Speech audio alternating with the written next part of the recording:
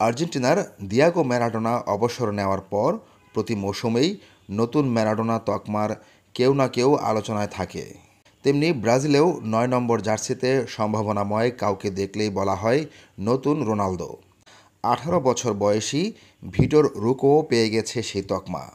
তবে সেটি অর্জন করেছে নিজের যোগ্যতা, দক্ষতা ও প্রতিভার প্রমাণ দিয়ে। দক্ষিণ আমেরিকার অনূর্ধ্ব বিশ চ্যাম্পিয়নশিপেই নিজের সামর্থ্যের প্রমাণ দিয়েছে সে। সেই টুর্নামেন্টে কোচ র্যামন ম্যানেজেসের অধীনে যৌথভাবে ছয় গোল করে শীর্ষ গোলদাতা হন ব্রাজিলের এই ফুটবলার।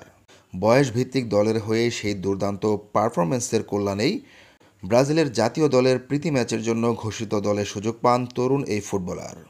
ব্রাজিলের রোনালদো নাজারিও সতেরো বছর, ছয় মাস, দুই দিন বয়সে আর্জেন্টিনার বিপক্ষে ব্রাজিলের জার্সিতে প্রথমবারের মতো মাঠে নামেন। রোনালদোর পর এই শতাব্দীতে আঠারো বছরের নিচে আর কেউ ব্রাজিলের হয়ে খেলতে পারেননি। ভিটোর রোকো আঠারো পেরিয়েছেন আটাশে ফেব্রুয়ারি। রোনালদোর সেই কীর্তি ভাঙার সুযোগ না থাকলেও অন্য একটি দ্বার খোলা রয়েছে এই ফুটবলারের জন্য।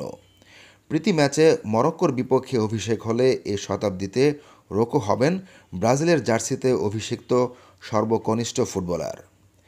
ভিটোর রোকোকে শুধু রোনালদো নয়, ব্রাজিলের লুইস সোয়ারেস সার্জিও আগৈরো বলে ডাকছেন কেউ কেউ।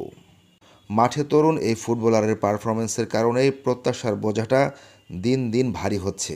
তবে রোকো অনূর্ধ্ব বিশ চ্যাম্পিয়নশিপে যে চমক দেখিয়েছেন, সেটি যদি জাতীয় দলের জার্সিতেও দীর্ঘ সময় ধরে রাখতে পারেন, তাহলে তাকে নতুন রোনালদো বলাটা মোটেও ভুল হবে না।